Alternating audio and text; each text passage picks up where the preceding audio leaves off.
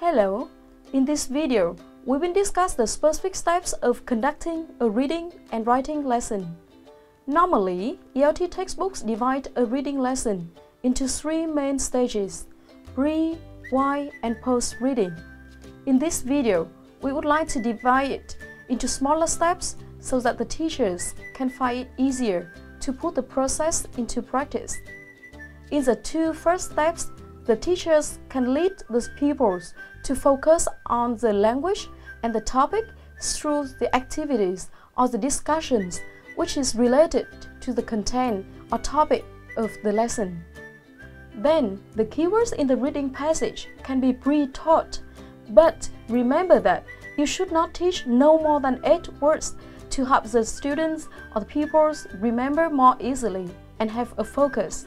Also, through these steps, pupils can get to get the main ideas of the text. The next steps will focus on discovering the main ideas of the text. First, the teachers ask the pupils to find out the main ideas of the whole text by skimming or to check if their earlier predictions regarding the topic were correct. When your pupils are skimming the text, remember to set a time limit and monitor their work carefully. After time is up, giving them some time to discuss the answers in pairs or in groups before checking them with the whole class. And then in the feedback sessions, we can check the students' understanding. Then we move on to detailed reading with similar steps. The teacher assigns the pupils with the tasks which focus on the detailed information. Inference questions can also be asked to facilitate deeper understandings among the students. After learners finish reading under the time pressure and the teacher's supervision, the answers will be checked in pairs, groups, and ask the whole class again. Please make sure that all the pupils understanding the reasons and the justifications for the answers carefully. The last stage is called extension task because it usually involves the productive skills like speaking or writing in reaction to the text or building on information within the text. With the new English textbook, this could create the link to the writing session that the students are going to study in the next session. Now, let's look at an example of a reading passage from an English textbook an example extension task for this may be Write a description of your own family members or draw a table which describes what your family members do and where they work. Meanwhile, a writing lesson can be divided into seven steps.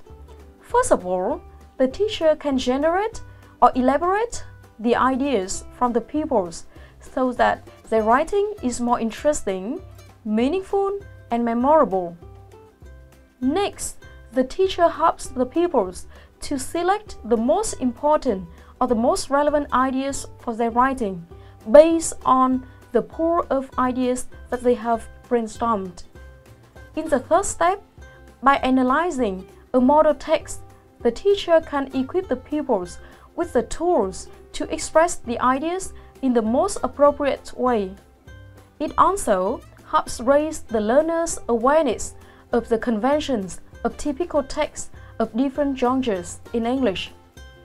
With a list of ideas, the teacher then helps the pupils to organize those ideas systematically.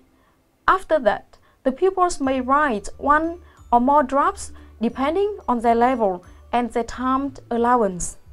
When they finish, they can give the products to their friends for peer evaluation which not only helps them realize problems or mistakes, but also raise their awareness of an audience other than their teacher. This stage can also be done in a creative way with the use of gallery walk. In this activity, the pupils may post their writings on the board or the wall in the classroom so that their friends can go around and give comments and feedback. The last stage is, of course, reviewing. in which the pupils write the final draft to submit to the teacher. They should be encouraged to check the details of grammar and spelling carefully. This could also be considered the end of the writing lessons. So, in today's lesson, we have covered how to conduct a reading and writing lesson. Remember that these steps are tentative and flexible, which means that you can rearrange or even change them to suit your teaching context. We hope that you will have very interesting lessons in reading and writing. Thank you.